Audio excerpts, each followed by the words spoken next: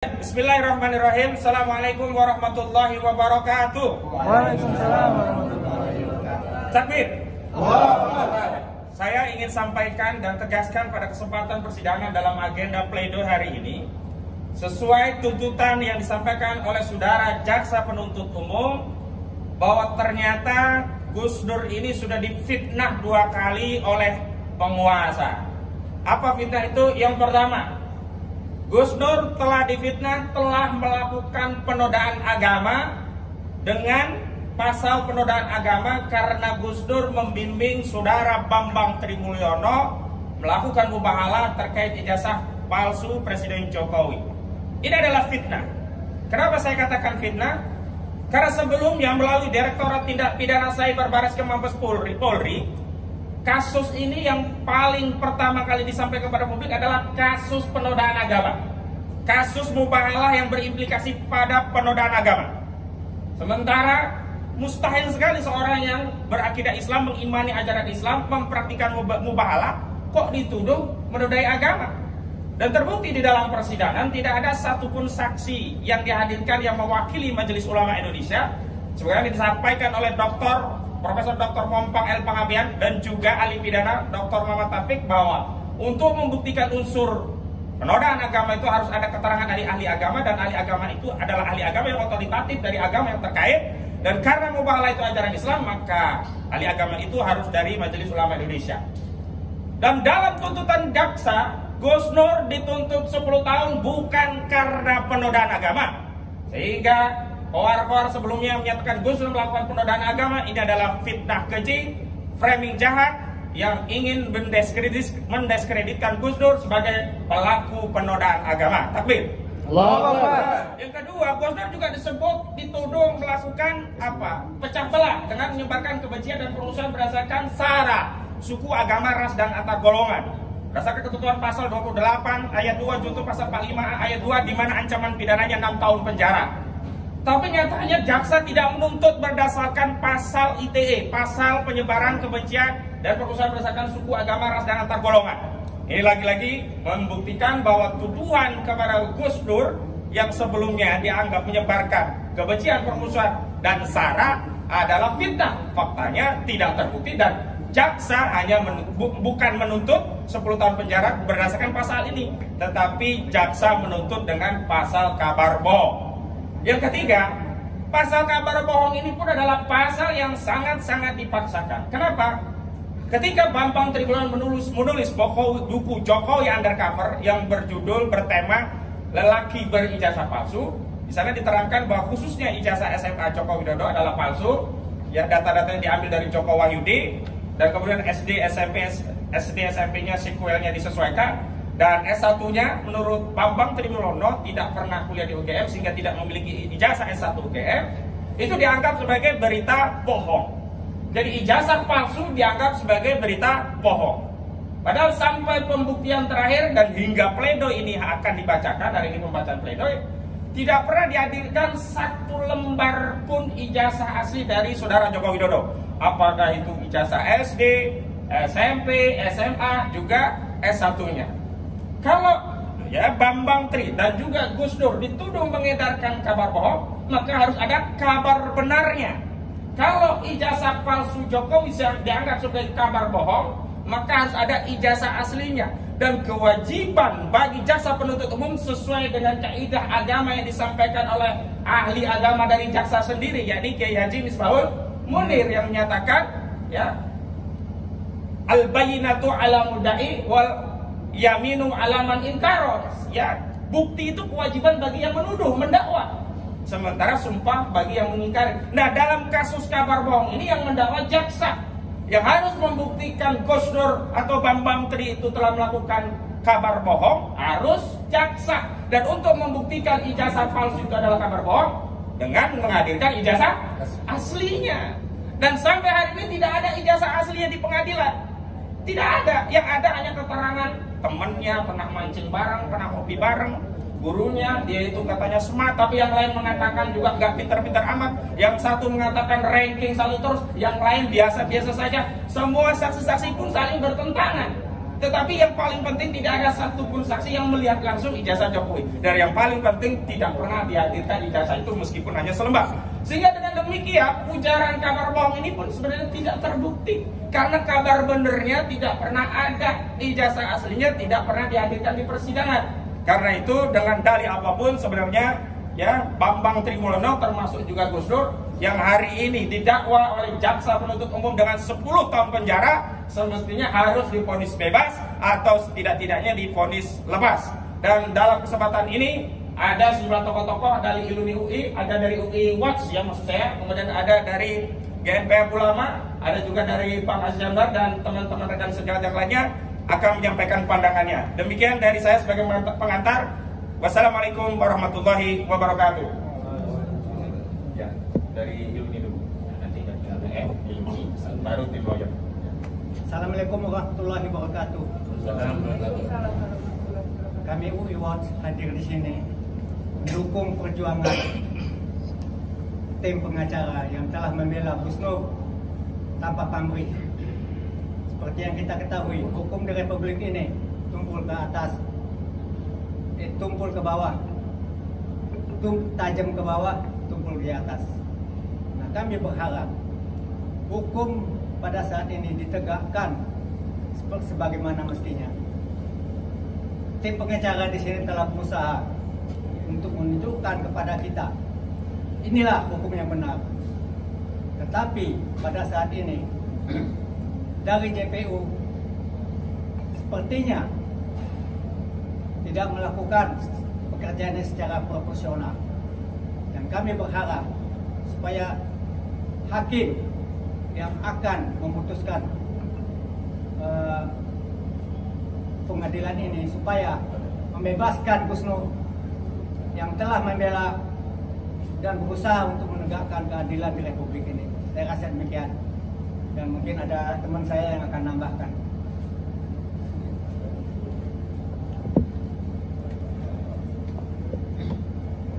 Bismillahirrahmanirrahim. Assalamualaikum warahmatullahi wabarakatuh. Waalaikumsalam warahmatullahi wabarakatuh. Ya, kami sesuai dengan prinsip bahwa kami selalu ingin menegakkan yang terbaik untuk negara itu yaitu negara yang adil, yang benar, yang jujur, yang bermoral. Hukum adalah bagian daripada tata aturan bermoral. Kalau hukum saja sudah diacak-acak, kalau hukum aja ditegakkan dengan tidak benar, maka moral kita sudah rusak. Di atas hukum ada etika, dan di atas etika ada akhlak.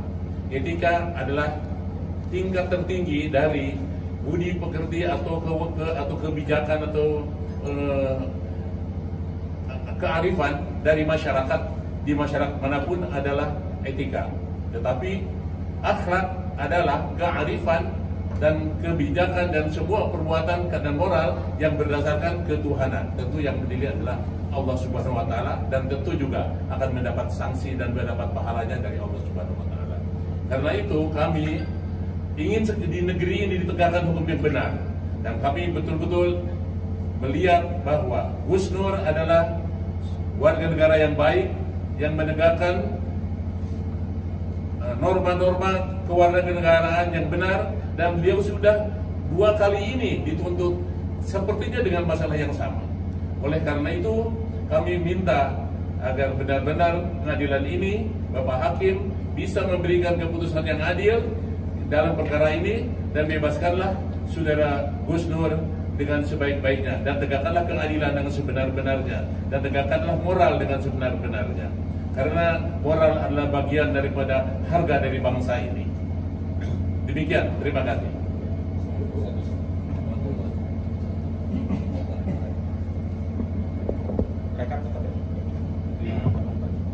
Bismillahirrahmanirrahim. Assalamualaikum warahmatullahi wabarakatuh. Waalaikumsalam warahmatullahi wabarakatuh. Uh, saya Yusuf Muhammad Marta, Ketua Umum Gerakan Nasional Pengawal Fatwa Ulama yang pertama-tama mengucapkan kepada Gus Nur yaitu selamat atas perjuangan beliau di bulan yang suci Ramadan ini beliau berjuang menegakkan kebenaran dan akan melakukan seluruh perjuangannya melalui mubahala. Tadi sudah dijelaskan oleh pengacara kita tentang apa yang dilakukan Gus Nur malah dibalik. Sebenarnya kalau seandainya mubahala dianggap itu adalah sebagai penistaan agama, lalu apa artinya tentang mubahala ada di kitab suci Al-Quran? Ini semua mengada-ngada, tapi Gus Nur saya anggap orang yang telah berhasil berjuang menegakkan keadilan dan insya Allah seandainya beliau tetap didalimi oleh hakim atau jaksa atau pemerintah yang zalim, insya Allah Gus Nur akan dibebaskan oleh Allah Subhanahu wa taala. Amin. Dan saya memberikan apresiasi yang setinggi-tingginya kepada jajaran pengacara, advokat, dan seluruh partisipan yang ikut di dalam perjuangan Gus Nur. Hingga hari ini insya Allah semua amalnya diberikan balasan oleh Allah Subhanahu wa taala. Karena mereka bukan melawan hanya jaksa dan hakim, tapi mereka telah melawan kedaliman kekuasaan yang dilakukan secara sewenang-wenang. Hari ini kedatangan saya, saya ingin bahagia seandainya sebagai warga negara bisa melihat ijazah asli. Tapi seandainya saya pulang dari tempat persidangan ini, saya tidak pernah melihat ijazah asli, saya akan menyesal dan saya akan malu di mata bangsa dan di mata dunia internasional di mana ada seorang pemimpin negara tidak mempunyai ijazah asli atau bahkan memalsukan ijazah di saat melakukan pendaftaran-pendaftaran di dalam eh, pemilihan-pemilihan yang telah berhasil dilakukan. Insya Allah, seandainya Presiden Republik Indonesia, Saudara Jokowi, dalam hal ini bermasalah dengan ijazah, insya Allah pada sidang nantinya bisa membuktikan ijazah aslinya agar tidak membuat kegaduhan. Justru kegaduhan itu berkepanjangan akibat tidak pernah dibuktikannya ijazah yang diharapkan. Insya Allah seluruh pejuang yang hadir pada hari ini mendapat keberkahan dari Allah dan selalu mendapat kesehatan dan jangan berputus asa. Berjuang bukan untuk mencapai keberhasilan karena perjuangan itu biarlah anak cucu kita nanti yang merasakannya. Wabillahi taufiq wal hidayah. Wassalamualaikum warahmatullahi wabarakatuh. Waalaikumsalam warahmatullahi wabarakatuh. Pak Kameng. Assalamualaikum warahmatullahi wabarakatuh. Saya Pak Jokowi berbalik-balik musang. Jadi penutup saya, saya saya jadikan pembuka. Pak Jokowi tolong perintahkan kepada Mendiknas atau Kepala Dikti atau eh, Rektor UGM untuk memperlihatkan ijazah asli di depan media televisi. Supaya rakyat Indonesia semua bisa meliput beserta media lainnya. Dan tolong rektor pasti harus ada universitas sebesar UGM yaitu agenda wisuda pada tahun kelulusan tersebut. Tahun Pak Jokowi lulus tahun 85 semua fakultas biasanya satu album. Tidak mungkin tidak ada dan tidak mungkin hilang. Ada di Al Nasib atau rekan-rekannya pasti punya. Saya aja masih punya. Swasta apalagi negeri. Nah, sekarang baru yang pembukaannya sebetulnya. Kita balik kita tiru gaya Pak Jokowi. Bahwa publik harus tahu bahwa kompetensi pengadilan ini sebetulnya tidak berwenang untuk mengadili, mengadili Gus Nur tidak penuhi persyaratan sesuai lokus delikti sesuai kuhab yang berlaku. Ingat kuhab itu adalah undang-undang yang harus diberlakukan. Ius consitem hukum yang harus berlaku hukum positif dan ini digunakan oleh semua aparatur hukum penegak hukum yaitu hakim, jaksa, polisi dan advokat. Harus dipakai itulah panduannya tapi tidak dipakai. Kedua yang pasti-pasti saja bahwa Gus Nur ini sedang menjalankan hak publik. Tidak patut dihukum. Ada perangkat undang-undang yang membolehkannya untuk melakukan ini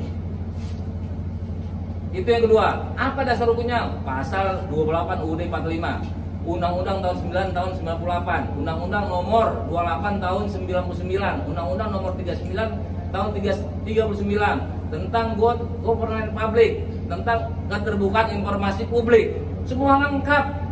Presiden itu pejabat publik harus bersih 100% harus bersih ideal. Karena keburukannya bisa membuat role model negatif kepada masyarakat. Ketiga, bahwa sebetulnya eh, Pak Jokowi ini kita curigai adalah memasukkan ijazah. Itu publik tahunya seperti itu.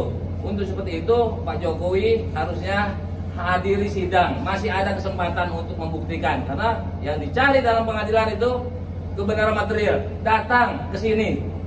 Jokowi, Pak Jokowi ini melanggar. Harusnya dia sebagai korban yang dituduh harusnya dia melapor atau turut serta melapor sebagai saksi pelapor supaya beliau bisa dilibatkan. Ternyata tidak. Jadi ini pengadilan ini hasil nanti jangan dipercaya. Walaupun bebas tidak boleh dipercaya lagi. Kenapa? Sudah sempat ditahan berapa bulan dalam melaksanakan hukum publik, hak publik. Demikian, Pak Jokowi tolong hadir berkesempatan hadir kepada beberapa kali lagi. Hadir bawa ijazah.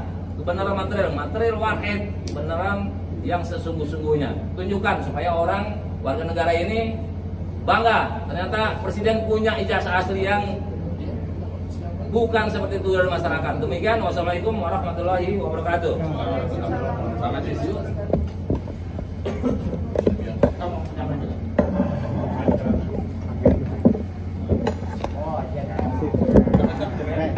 Ya, terima kasih. Assalamualaikum warahmatullahi wabarakatuh. Waalaikumsalam warahmatullahi wabarakatuh. Ya, kita semua sebenarnya eh, shock ya, cukup kaget juga dengan tuntutan.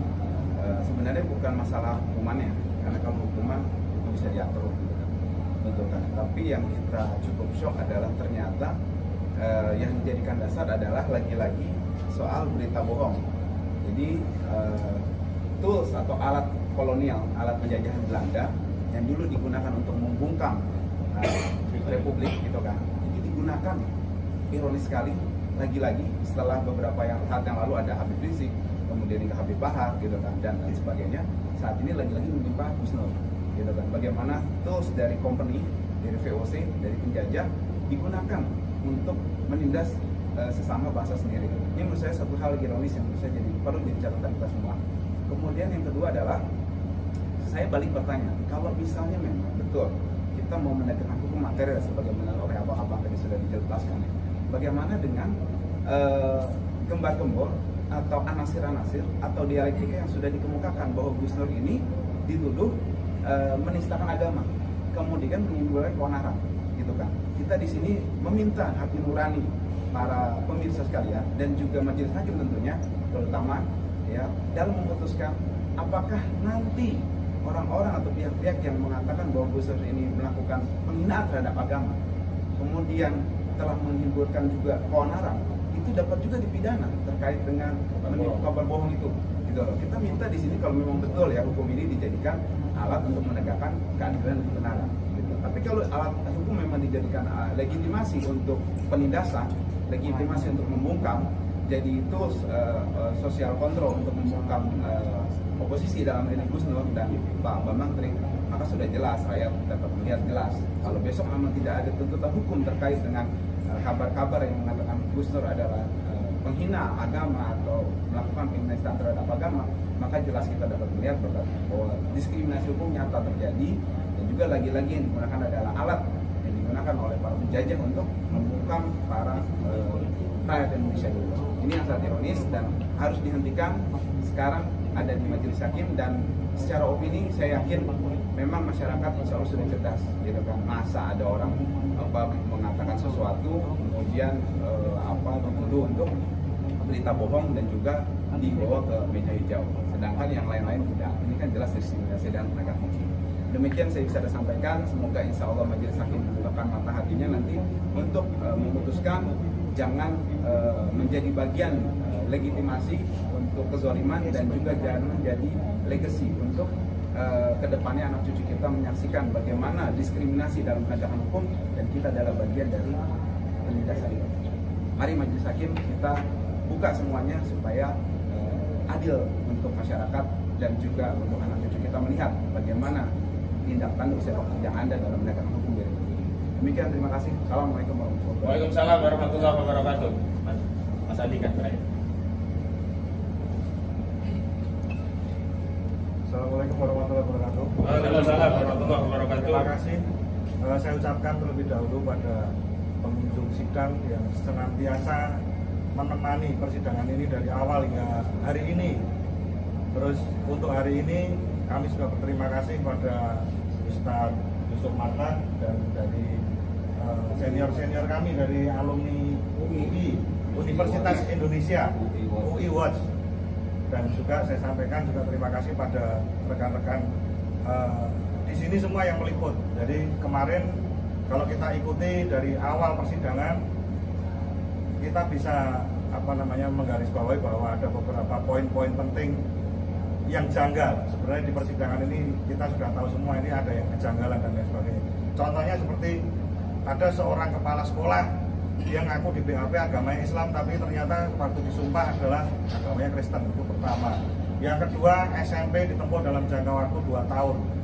Yang ketiga nomor ijazah itu eh, tidak sesuai dengan eh, apa namanya jumlah dari siswa secara keseluruhan itu adalah kejanggalan-kejanggalan kejanggalan kita yang kita eh, apa dapat kita lihat di persidangan dan itu bukan dari kami itu adalah saksi-saksi mereka juga dan saya harap di sini tadi yang sudah disampaikan beberapa tokoh juga meminta bahwa dalam kasus ini sebenarnya ijazah Pak Jokowi yang asli itu kalau bisa dihadirkan di persidangan ini ini sudah cukup membuat terang semuanya dan masyarakat Indonesia pasti akan jelas semua bahwa oh presiden saya ini ternyata uh, isu yang dihembuskan itu tidak benar dan inilah kebenaran.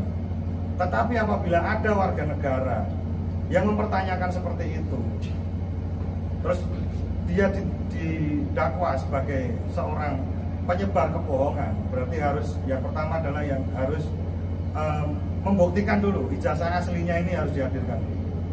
Yang pertama itu, yang kedua onar. Jadi keonaran ini yang dijadikan sebagai dasar apa, dakwaan kepada Gus Nur, tuntutan kepada Gus Nur dan hukumannya pun eh, ancaman hukumannya pun paling tinggi yaitu 10, 10 tahun. Jadi ini yang tadi disampaikan eh, rekan kami juga bahwa ini adalah undang-undang produk dari eh, kolonialisme. Jadi itu sudah lama dan keonaran ini tidak bisa dibandingkan dengan keonaran yang pada saat ini keonaran di media sosial dan lain sebagainya. Makanya di sini saya berterima kasih kepada teman-teman pers dan ini harus disebarkan. Masyarakat harus tahu di media sosial kemarin dan persidangan-persidangan sebelumnya itu banyak yang dipelintir, banyak yang dipotong, sepotong, sepotong, sepotong. Mereka bumbui dengan kata-kata mereka sendiri dan lain sebagainya. Itu memang kerjaan mereka seperti itu dan itu hanya ada di rezim saat ini. Dan kita harus lawan dengan media juga seperti itu. Yang pertama kali ingin saya sampaikan adalah bahwa eh, negara ini adalah negara Republik Indonesia, jadi bukan negara kerajaan. Yang mana kekuasaan itu dibatasi oleh waktu. Jadi mohon dengan sangat bapak-bapak yang di sana yang memproduk kasus ini, tolong ingat bahwa kekuasaan itu tidak selamanya. Dan masyarakat saat ini sudah pintar, semua ada media sosial. Semua orang bisa akses internet. Mereka bisa menemukan kebenaran dan lain sebagainya. Jadi mohon tolong diingat bahwa hari ini boleh Anda menang. Tetapi besok di pengadilan Allah atau mungkin besok ganti rezim saja. Keadaan akan berbeda. Maka dari itu saya mohon kepada yang mulia majelis hakim dalam persidangan kali ini mohon putusan yang seadil-adilnya bahwa Gus Nur dan Bambang Tri ini adalah seorang uh, warga negara yang kebetulan posisinya adalah sebagai oposisi. Yang kebetulan adalah beliau kurang setuju dengan adanya kebijakan-kebijakan pemerintah yang saat ini dan mereka melakukan kritik. Gus Nur tidak melakukan kejahatan terhadap negara. Gus Nur bukan kriminal. Gus Nur tidak coba dibayangkan. Sekarang mohon maaf, kasus ikan juruhan 144 orang meninggal. Yang disalahkan apa? Arah mata angin. Hmm. Bayangkan. Ini negara hukum katanya. Tapi berlakunya seperti itu. Dan lain sebagainya itu banyak dari jaksa pinanggi dan sekarang pun yang lagi heboh dan lain sebagainya ada polisi yang terjerat dengan kasus narkoba bertonton bahkan kasus pembunuhan dan lain sebagainya yang belum terungkap juga ada Jadi mohon, tolong masyarakat semuanya. Gus Nur dan Bambang Tri ini bukan kriminal, bukan seorang yang menistakan agama seperti apa yang dituduhkan. Gus Nur ini punya pesantren, pesantren eh, apa namanya, tahfiz Al-Quran. Masa iya seorang yang punya apa namanya pesantren seperti itu menghina agama, bahkan agamanya sendiri? Itu sangat tidak masuk akal. Saya kira sekian yang saya sampaikan, mungkin ada tambahan dari rekan-rekan semua, bapak-bapak senior-senior. Kalau selesai, eh, kalau sudah cukup, mungkin kita cukupkan untuk eh, pernyataan kita pada hari ini. Takbir.